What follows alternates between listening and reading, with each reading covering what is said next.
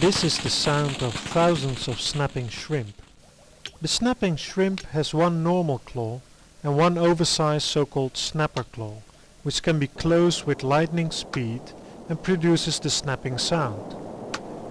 The snap is used to communicate with other shrimp and is also used to stun or even kill prey animals.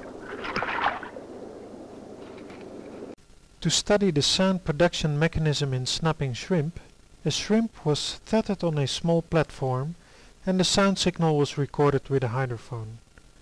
The snapping shrimp was then tickled with a paintbrush and imaged with a high-speed digital video camera.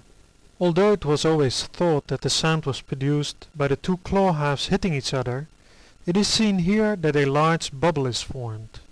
It is the implosion of this cavitation bubble that produces the sound of snapping shrimp.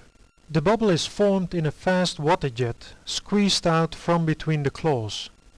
The water jet velocity is so high that the corresponding pressure drops below the vapor pressure of water and a cavitation bubble is generated which will initially grow in size, then it collapses violently.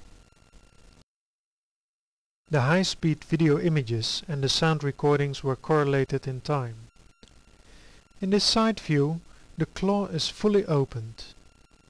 At this position, the claw is fully closed, no sound, while the prominent snap coincides with the bubble collapse.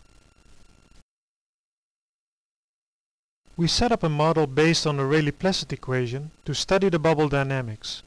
In this model a Gaussian pressure drop was used to reproduce the bubble radius as a function of time as also observed in the experimental high-speed video recordings. From the dynamics of the bubble the sound pressure curve was calculated. The precursor signal before the loud snap representing the bubble growth and shrinkage are also in good agreement with the experimentally determined hydrophone signal.